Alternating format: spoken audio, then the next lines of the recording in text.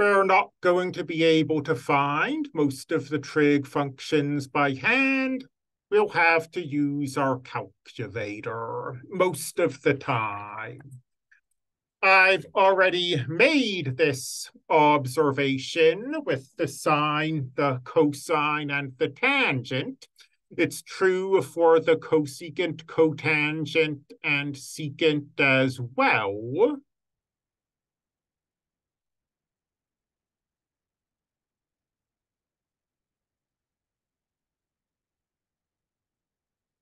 Let's find the six trig functions evaluated at x equals one half. This is not an angle whose sine, cosine, or tangent we know. Um, the only special angles we know are pi over 3, pi over 6, pi over 4, and the right angles. But our calculator, let me see, let me get that pulled up. Here we are if we want the sine of one half, um, first of all, let's make sure that we are in radian mode. So remember, if you don't see a degree symbol, you're working in radians. So when I say the sine of one half, I mean the sine of one half of a radian. And if I click mode, we see that we are in radian mode. If I was in degree mode instead, I'd see this and I'd go down and press the enter button to switch to radians. Then here's the sine of one half.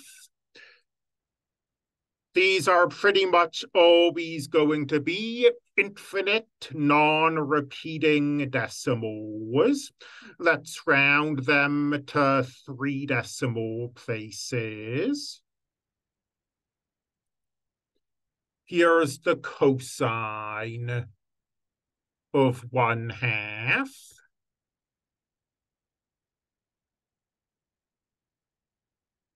I know you can't see it at the moment, but I'm jotting this into our notes, and there's the tangent of one half. Sine, cosine, and tangent are easy. If you have a semi-advanced calculator like this one. So what you will notice, let me, let me get back to my document camera.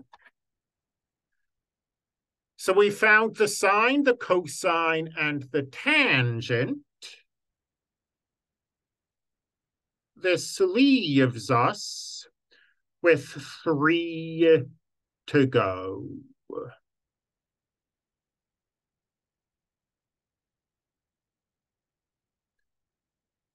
And what I was starting to say was that if you look at our calculator, you'll notice that there isn't a secant, a cosecant, or a cotangent I am getting the strongest sense of deja vu. I think your textbook runs through this material twice. But be that as it may, um, we can use the fact that the secant is 1 divided by the cosine. So if we want the secant of one half, it's one divided by the cosine of one half. What about the cosecant?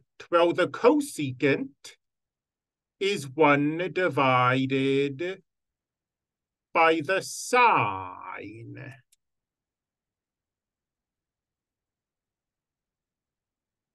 And the cotangent. The cotangent is the cosine over the sine, but for this, it's more convenient to write it as 1 over the tangent.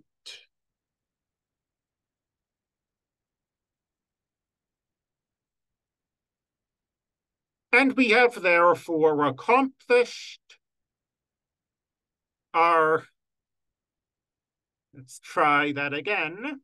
We have therefore accomplished our stated goal the sine, cosine, and tangent have dedicated buttons. The secant, cosecant, and cotangent don't. We have to use their definitions. We have to write this as 1 over the cosine, 1 over the sine, 1 over the tangent. And then we can use the cosine, sine, and tangent buttons.